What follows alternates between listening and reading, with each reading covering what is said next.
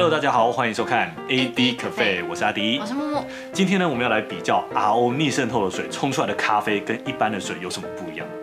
追踪 IG，订阅 YouTube。那我们之前呢就有介绍过不同的水质对于冲咖啡风味上的影响。对我们那时候测了好几种，对，有各种瓶装矿泉水啊，然后也有一些咖啡的专用水。那那个时候呢，就有人跟我们说，哎，我们也可以试看看用 RO 逆渗透，就是这种 TDS 比较低的水来试看看。所以我们这次就是收到厂商寄来这台 mini 十六嗯 Drinkly 最合零 RO 顺热净水器。那这台 RO 滤水器，我觉得最大的惊艳点就是它真的很小，对里面还有两道滤芯，嗯一道是 CF 滤芯，然后一道是 RO 滤芯。对。那除了这个之外呢，其实我们也不用帮它去装水管。对，它的机身就这样水插水用，然后它有附赠两个水箱以及四种不同的温度可以调整。哪四个？呃，就是一般的温度，然后好像啊，悲剧。它有常温的，然后四十五度，然后七十度、八十度，还有九十九度的。就让你各个场景都可以直接出水。对对对。那我们今天的重点呢，还是要来测试一下 RO 的水冲出来的咖啡喝起来怎么样。所以我等下会用 RO 水和我们一般的家用水来冲两杯咖啡，让木木来盲测。背景补充一下，我们在台北，所以用的是翡翠水库的水。对，所以平常 TDS 大概是四四十几十到五十左右五。十几。嗯好，，好，我们现在要冲是用 RO 逆渗透的水。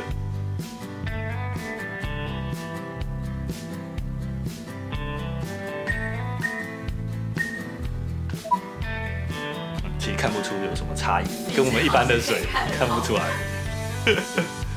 这次呢，就是用二十二克的咖啡粉，总水量要到三百，焖蒸后分三段。那第一段呢，会尽量打通水道，用大水去带出那个咖啡的风味。然后第二段呢，等一下会用比较小水柱、中心注水的方式，可以让水可以稍微浸泡一下，因为我觉得这样冲的甜感会比较好。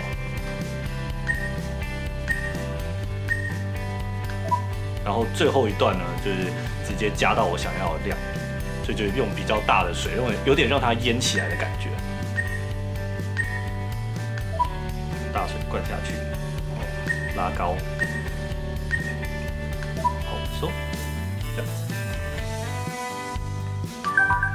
好，等一下呢，就让木木来喝一下，这杯是用 RO 水冲的，然后这是用我们一般的家用水冲的。你要先喝水吗？这杯是家用水，然后这杯你 RO 水有比较好哎、吗，其实真的喝起来不一样，对。而且才差四十而已。哎。差很多吗？喝起来对，喝起来喝起来差很多，差很多。尤其是你接着喝，你你先喝 RO，哦，然后马上喝家用水，它有多了一些味道。之前我们不是在说钙镁离子会有一些风味，我觉得确实有一点点苦，然后一点点的涩感，是你喝 RO 水的时候不会出现的。RO 水喝起来很顺口。对对对，我觉得蛮酷的耶。之前我们可能要喝到像那个山泉水啊，或者是我们之前有测试过一个 拿配方水，然后做了好像五十倍浓度还是多少浓度的，我们才觉得像，对我们才觉得喝起来真的有不同。可是这样光是 RO 水，然后跟台北已经算软的水喝起来就会不一样。口感上的话，RO 水比较滑一点，对，然后我们的加入水喝起来会比较有一点点涩感。那就来喽，好，我这里是给你两杯好了。好啊，好啊，看看有没有谁多了什么或少了什么。好，那就一杯蓝色的，来一杯白色的。我觉得好像蓝色这杯比较香一点。哦，白色这杯的香气没有那么多嗯的感觉，酸为主，然后有一点点甜，嗯然后我们的咖啡豆应该都不太会有苦味。对，这次是用那个瓜地马拉的，如果测出来差不多，我一定要甩锅给台北的水不够硬。但我现在觉得这杯浓度比较高，哎，哦整体更酸。哦，所有的味道都比较多。这杯是酸为主，然后其他风味也很浓烈，然后这杯酸没有那么强烈，嗯，后面的味道可能会多一点。哦，但我觉得两杯都还 OK 啦，就是好像没有差异太大。嗯，对，蓝色的比较酸，蓝色的酸一点，然后味道也比较强烈。嗯嗯嗯白色的味道比较没有那么重。A few moments later. 我觉得冷掉变酸哎。嗯，这杯还是更酸，现在有点落差更明显。我会觉得这杯后面有点空掉，就是它会很凸显前面的特色。你可能会觉得它有柑橘，然后有一点点柠檬，然后会有一点点那种橘皮的涩感。就蓝色这杯会是调性很明确的咖啡。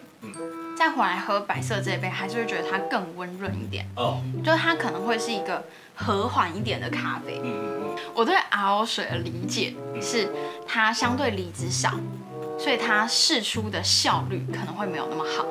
我想一下，我觉得 RO 应该是比较温润的这一杯。我现在讲越多，我觉得越恐怖。共同离子效应的话，就是最最明确的讲，它要是同样的离子。哦。那现在只是因为有钙镁在水中，然后所以它会辅助或者是阻挡某些离子的溶出。嗯。所以呃，它会一定程度的去改变咖啡的风味，这就是为什么软水跟硬水喝起来会有不同的味道。对。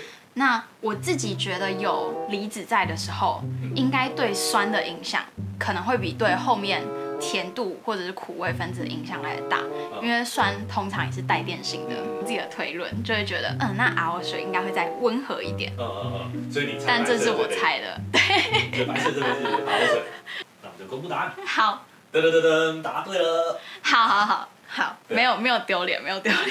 跟你的跟你的猜测，我觉得是蛮接近。哇塞，我如果。刚讲错，我要把整段都剪掉。来替我们讲解冲煮的部分。那其实我这段时间在用 RO 水的时候，有一些调整，就是像我在研磨度上面就会把它调的再细一点点。就是因为如果用原本的研磨度或者比较粗的研磨，有一些味道确实后来会出不来，尤其口感的部分，口感的部分有一点点太就是太淡。哎，可是你调成这样，我觉得 RO 水的 body 还是蛮好的。对，所以我觉得现在的研磨度算是 RO 水和那个加用水都不错的一个状态，但是两边就会展现不同的特色。对对。RO 就是一个比较温和，然后各种味道也都有，那但不会太过突出。加用水的话就会比较多那个味道的变化。嗯嗯嗯。而且我觉得这台 RO 水很方便。哦，对了，这个是我们目前都使用它的一个很大的原因。因为之前要喝水。我们就要先过一个滤芯，滤芯，然后再加热，就煮沸过。用这台之后，我们基本上就是它出来，我们就会直接喝。那它的水槽在后面，那水槽在换水的方面也是非常的方便，提起来就可以去加水。就我之前家里也都是用 RO 的滤水器，对，你知道那就占掉我家阳台的大概三分之一大小，而且它废水超多。对，RO 逆渗透的意思就是说，透过一边的压力，嗯，让隔在中间的这个半透膜，只有水能通过的这个半透膜，在一边加压之后，让水能够从浓度高这边流跑到只有纯水的那边，所以它的压力有一个极限在。我施加的就是这个压力，我能过去的水就是那么多。对。所以它就会有一定的废水量。嗯，所以我不知道它到底是什么黑科技。所以以前的那个 RO 系统，它就会排很多水出来。那这台的废水非常的少。对，而且它其实就是放在它原本装水进去的这个水箱里。所以你在换水的时候，你就顺便把里面的废水倒掉，然后装新的水进去，然后插回这台机器就可以使用。然后这台机器它有另外一个优点，就是它要给这个水箱嘛。那这个水箱它就给你两个，所以你可以一个在装水的时候，另外一个就可以带着走。对对。那像我们现在夏天到了。所以就很需要一些冰水，那就可以把它冰在冰箱里面，它就可以直接放进去，而且因为它也是有盖子的。对对对对对，所以在吸带上面啊，然后在替换上面的话都会很方便。好，那今天 RO 水质的比较就到这边结束了。如果喜欢我们的影片的话，请点个喜欢，并且分享给你的朋友们。那我们在 IG 上也会固定 po 文，然后介绍咖啡厅，所以可以 follow 我们的 IG。那我们下次见喽，拜拜。